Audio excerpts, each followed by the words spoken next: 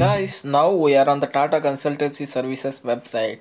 It's everybody's dream to join one of the prestigious company of India, TCS, Tata Consultancy Services.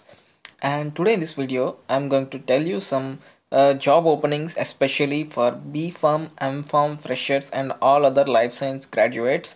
And this is a registration page where for TCS is hiring BPS freshers. I mean all life sciences and other here you can see the details. The registration end date is 7th january and the test date is 26th january. So interview date will be announced later. You can register now by clicking on this register now button once you reach the website. So let us see about the job opening. It is tcs is hiring for bps i mean business process. I don't know uh, totally.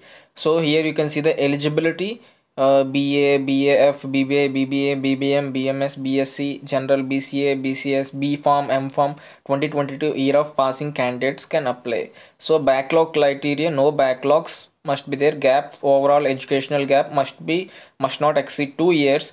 Extended education candidate should not submit I mean should not have any extended education in their highest qualification. Work timings, everything is as usual and the test consists of numerical ability, verbal ability, reasoning ability, a total of 65 minutes exam and consists of 80 questions.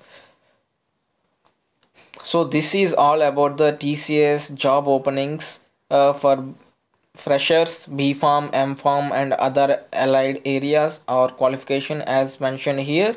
And guys, don't wait and apply for this job opening and I hope you like this information.